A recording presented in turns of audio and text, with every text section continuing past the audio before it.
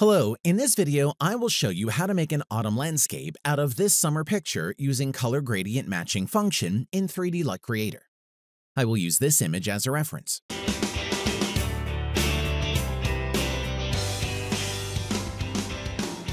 First, I need to add colors from the reference and my image to the palette. Colors should be added from areas with different brightness levels.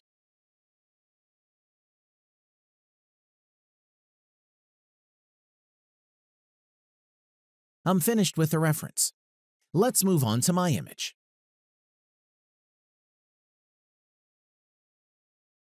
I will sort color samples by luminance. I don't see any wrong shades here, so I can go to match the color gradient.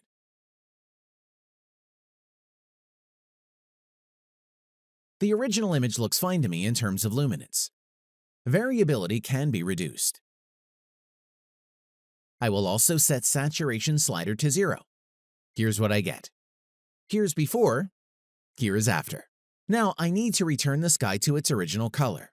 I'm going to use the mask based on yellow channel of CMYK color model. This is the result. Here is a photo without a mask. Let's compare before and after images. Here is the reference for your comparison. You can leave it like this, but I would like to adjust the sky also. I'm going to disable the mask and save my edit to an external LUT. I'm disabling it for now. Now I'm going to clear the palette and add colors of sky both from my image and from the reference.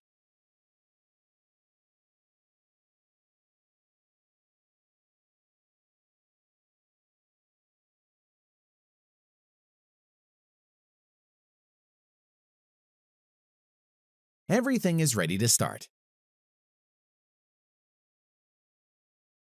Let's see if I should adjust luminance here. It is getting worse, so I will change it back.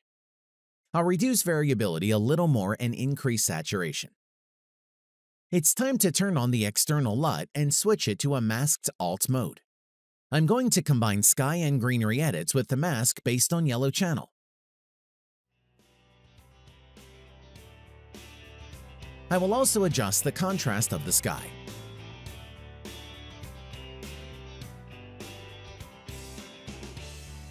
The sky looks too blue to me.